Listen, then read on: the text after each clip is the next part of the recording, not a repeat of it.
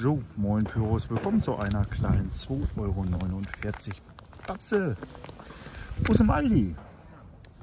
Und zwar der Erapschen. Bin wieder gespannt, wie diese so ist. Kleine, süße Feuertopf. Batterie kann man eigentlich auch nicht viel mit falsch machen. So, ist ein bisschen vom Winde verweht, aber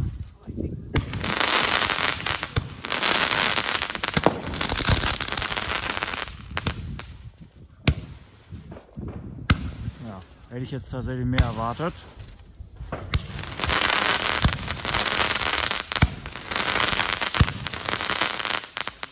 Ja, die Erapschen aus dem Aldi.